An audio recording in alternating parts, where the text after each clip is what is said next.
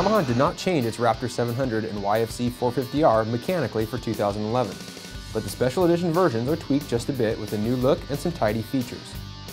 Two days of riding the Glamis sand dunes of Southern California was a great way to experience the Yamaha ATV lifestyle.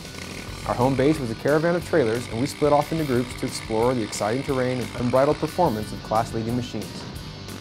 The 450 looks more sinister than ever, with black and red bodywork with a metallic vertebra graphics Fenders are held on by simple, quick-release fasteners for easy maintenance, and a black GYTR grab bar is installed on the front. The swing arm is blackened as well, with a gold drive chain providing a sharp contrast. Underneath the slick exterior is the proven 449cc 5-valve engine. Crisp fuel injection and a 5-speed manual transmission feed power to a wide 50-inch wheelbase. Motocross ergonomics and a 405-pound claim weight make this $8,949 sport ATV easy and effective to throw around. The Big Bore Raptor retails for $50 more and has an even darker outlook with all black bodywork and subtle phantom graphics. A special front grab bar, custom GYTR heel guards, and wave-style rear brake rotor come standard, and both machines tread on new inner rolled wheels.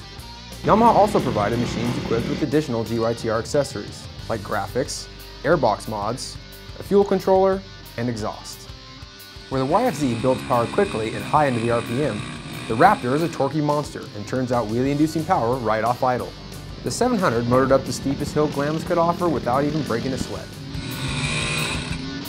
And after a few tries... This is China Hill, this is the big one. It pisses me off, I want to make it. The smaller 450 topped the mountain.